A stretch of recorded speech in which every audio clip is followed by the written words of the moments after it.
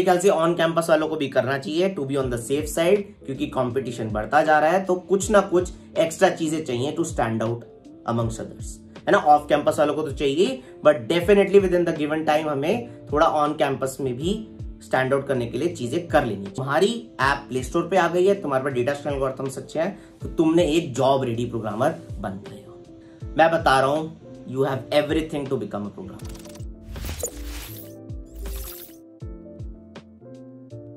Hi myself Pareek here so यार, आज के सेशन में एक पूरा कंप्लीट रोड मैप बताने वाला हूँ to become a job ready programmer और एकदम बिल्कुल स्क्रैच से होगा कि तुम्हें प्रोग्रामिंग नहीं आती और उसके बाद तुम्हें क्या क्या चीज़ें करनी है so that you become a job ready programmer मतलब उसके बाद जो तुम जॉब चाहते हो, उसके लिए एलिजिबल अच्छे से हो जाओगे, सारी स्किल्स कवर हो जाएगी. और फॉर ऑन कैंपस पीपल जिनकी कंपनीज़ ऑन कैंपस आती हैं फॉर ऑफ़ कैंपस पीपल वालों को क्या करना चाहिए, मैं सब कुछ बताने वाला हूँ. सो एंड तक रहना and you will get to know all of these things और अगर पसंद आए वीडियो तो लाइक एंड शेयर कर देना अपने फ्रेंड्स के साथ and definitely subscribe our channel ठीक है? तो चलो स्टार्ट करते हैं। बिल्कुल स्क्रैच से स्टार्ट करते हैं। सबसे पहले अगर हमें प्रोग्रामिंग नहीं आती तो सबसे पहले बेसिक्स ऑफ़ प्रोग्रामिंग सीखना है। मतलब सबसे पहले फ़ंक्शंस लूप्स किसी भी एक लैंग्वेज में।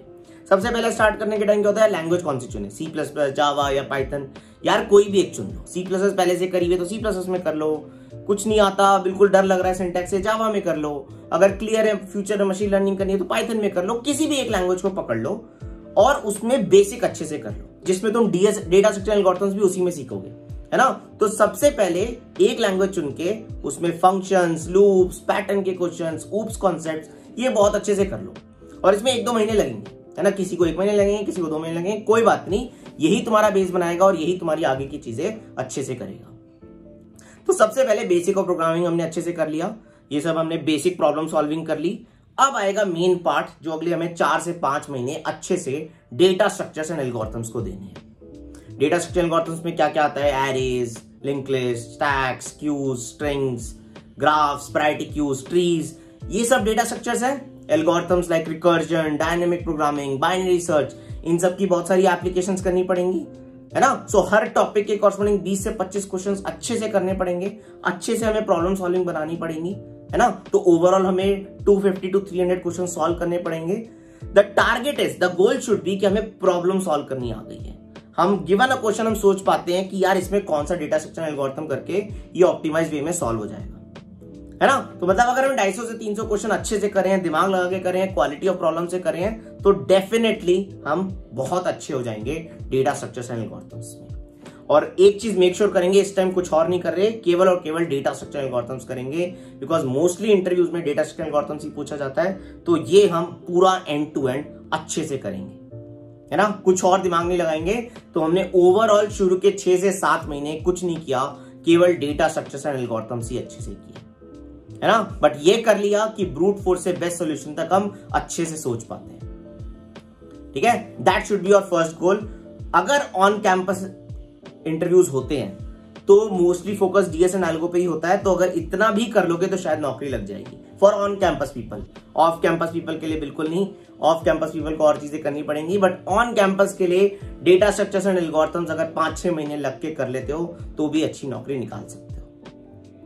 Now comes the next path जो मेरे ख्याल से ऑन कैंपस वालों को भी करना चाहिए to be on the safe side क्योंकि कंपटीशन बढ़ता जा रहा है तो कुछ ना कुछ एक्स्ट्रा चीज़ें चाहिए to stand out amongst others है ना? ऑफ़ कैंपस वालों को तो चाहिए but definitely within the given time हमें थोड़ा ऑन कैंपस में भी स्टैंड आउट करने के लिए चीज़ें कर लेनी चाहिए.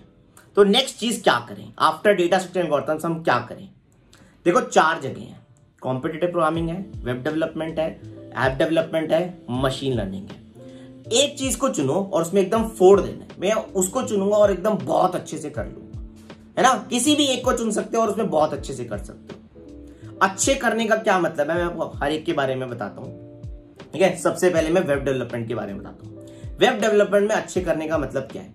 और उसको कैसे करना है? तो अगले छह महीने अगर हम वेब डेवलपमेंट करने वाले हैं, अब डेटा स्ट्रक्चर तो कर लिया। अगले छह महीने अगर हम वेब डेवलपमेंट करने वाले हैं तो शुरू के तीन महीने कहा जाएँगे? हमें वेब डेवलपमेंट सीखने में जाएँगे।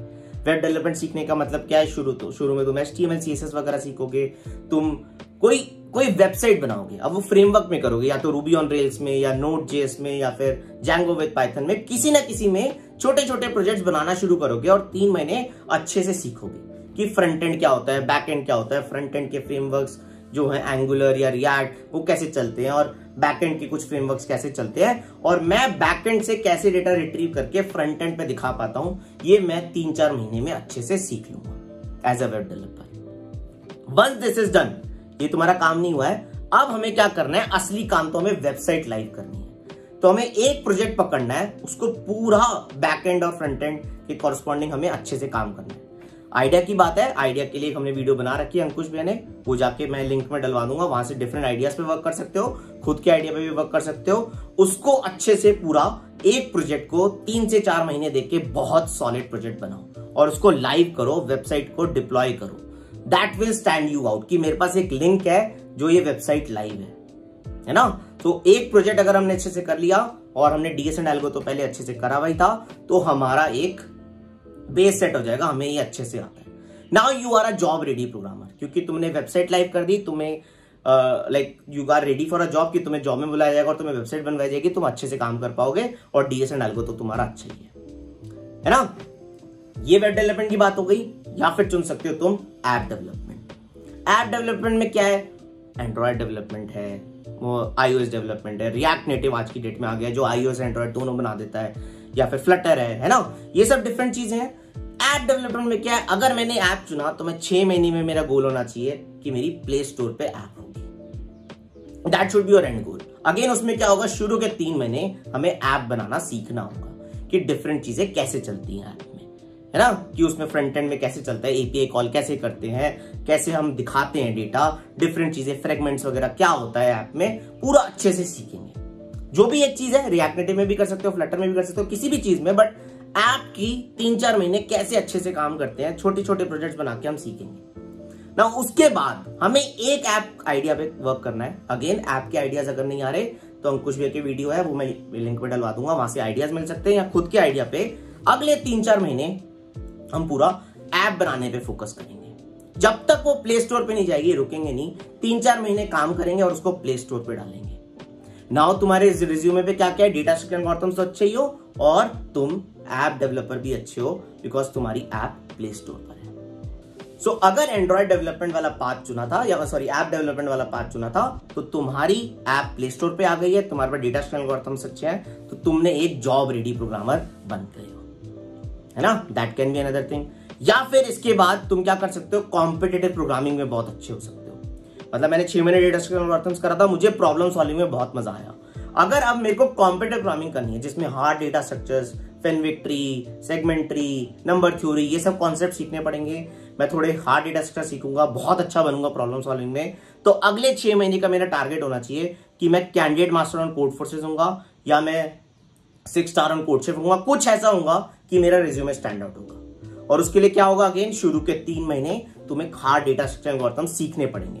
साथ साथ तुम कॉन्टेस्ट में पार्टिसिपेट करोगे बट उतने अच्छे नहीं होगे बट शुरू के तीन महीने कॉन्सेप्ट सीख सीख के कॉन्टेस्ट में पार्टिसिपेट कर करके एक बेस सेट होगा।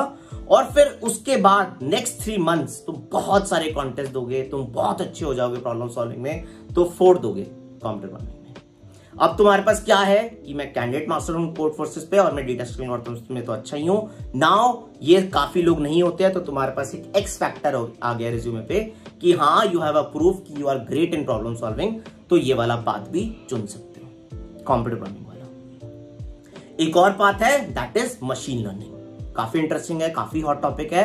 अगर मशीन लर्निंग चुनते हो तो अगेन एक सिक्स मंथ्स का प्लान होना चाहिए, तीन महीने सीखने का और तीन महीने प्रोजेक्ट पे काम करने का। शुरू के तीन महीने क्या सीखेंगे हम? बहुत सारे एल्गोरिथम सीखेंगे, हम मैथमेटिक्स कॉन्सेप्ट सीखेंगे जो मशीन लर्निंग में लगते हैं।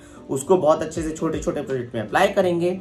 जब वो सीख लेंगे, फिर नेक्स्ट थ्री मंथ्स में एक एंड टू एंड एक बहुत सॉलिड प्रोजेक्ट बनाएँगे, जो बेसिकली थोड़ा यूजफुल हो। उसको गिटअप पे डालेंगे कोड को विद अ डेमो डालेंगे कि जो भी हमने बनाया, हमारा एल्गोरिथम इतना सही वर्क करता है। कुछ भी हो सकता है।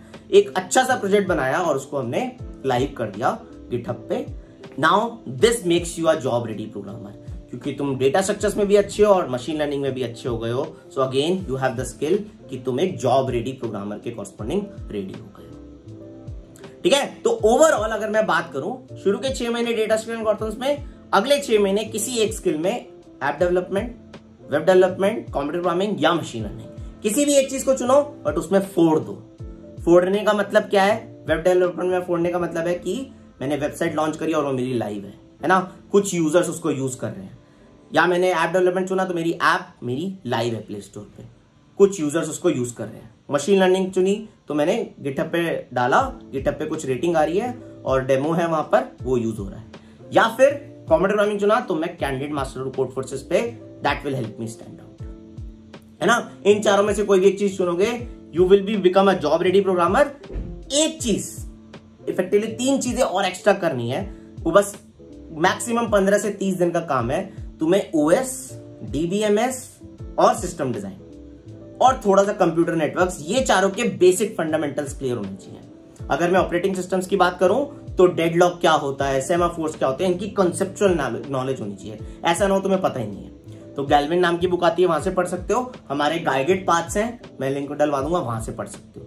तुम्हें ऑपरेटिंग सिस्टम इंटरव्यूज़ के लिए क्या क्या आना चाहिए वो तुम्हें अच्छे से आ जाएगा।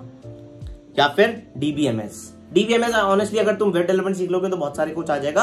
अगर नहीं करा तो थोड़ा सा एसक्यूएल क्वेरी मारना, ये सब थोड़ा सा बेसिक आना चाहिए। नॉर्मलाइजेशन क्या होता है, क्या हो रहा होता है उसके पीछे, ये बेसिक कॉन्सेप्चुअल नॉलेज होनी चाहिए। ठीक है? सिस्टम डिज़ाइन में थोड़ा बेसिक अगर पता हो low level design high level design क्या कहते हैं, किसको क्या कहते हैं, थोड़ा सोचना आता हो। अगर तुम वेब डेवलपमेंट करते हो तो सिस्टम डिज़ाइन भी तुम्हें इनफ आ जाता है। सो अगर वो कर लेते हो तो हो जाएगा, वरना थोड़ा सा पढ़ लो सिस्टम डिज़ाइन के बारे में। कुछ तीन चार परफेक्ट मॉडल्स पढ़ लो ट्विटर कैसे चलता है इंस्टाग्राम कैसे चलता है, उसके लो लेवल डिज़ाइन का मतलब क्या है हाई लेवल डिज़ाइन का मतलब क्या है। थोड़ा सा पढ़ लो सो दैट बेस रेडी हो जाए। और कंप्यूटर नेटवर्क्स के भी थोड़े बहुत बेसिक्स पढ़ लो कि टीसीपी आईपी का मतलब क्या है। या मैं यूआरएल टाइप करता हूँ गूगल डॉट कॉम तो पीछे क्या होता है? बहुत ही कॉमन इंटरव्यू क्वेश्चन है। ऐसी ऐसी चीज़ें कॉन्सेप्चुअल नॉलेज कर लो। ये पंद्रह से तीस दिन का काम है। Now you have all of the skills जो भी हमें चाहिए to become a job ready programmer हमारे पास डेटा स्किल अच्छा है। हमारे पास या तो हम वेब डेवलपर हैं, या हम ऐप डेवलपर हैं, या हम मशीन लर्निंग में अच्छे हैं, या हम कंप्यूटर प्रोग्रामर हैं। एक अच्छी चीज़ है और ये हमें basic programming fundamentals O S D B M S system design computer network के बेसिक्स आते हैं। मैं बता रहा हूँ you have everything to become a programmer है ना? नाउ तुम्हें कोई नहीं रोक सकता जॉब में लगने से। है ना? पक्का लगेगी जॉब हो सकता है थोड़ा टाइम लगे बट करते रहो। अगर ये सारी स्किल्स है तो जॉब अच्छी लगेगी और फोड़ोगे तुम ज़िंदगी। ठीक है? तो ये सब अच्छे से कर लेना। इसमें मैंने एक चीज़ मिस कर दी है, जब वेब डेवलपमेंट या मशीन लर्निंग या ऐप डेवलपमेंट या कंप्यूटर कर रहे हो कंप्यूटर में तो डीएसएनएल को साथ साथ कर ही रहे होते हैं। बट जब वेब डेवलपमेंट एंड्रॉइड डेवलपमेंट या मशीन लर्निंग कर रहे हो तो डीएसएनएल को छोड़ना मत। दो क्वेश्चंस डेली करते रहना सो so दैट तुम्हारा डीएसएनएल का फ्लो बना रहे। ठीक है? उसको मिस मत करना, ये इंपॉर्टेंट पॉइंट है, यहाँ अच्छे से कर लेना। अगर ये सब अच्छे से कर लिया तो I take a guarantee you will become a job ready programmer तुम्हारी बहुत अच्छी जॉब लगेगी। And you will excel in your interviews okay so अगर कुछ भी मैंने मिस करा है तो मुझे कमेंट बॉक्स में बताओ, है ना? पसंद आई ये वीडियो तो लाइक एंड शेयर करो अपने फ्रेंड्स के साथ और सब्सक्राइब पक्का से करो चैनल पे। हम ऐसी बहुत सारी हेल्पिंग वीडियोस डालते रहते हैं एंड तुम्हारी बहुत सारी हेल्प करते रहते हैं। ओके चलो. Thank you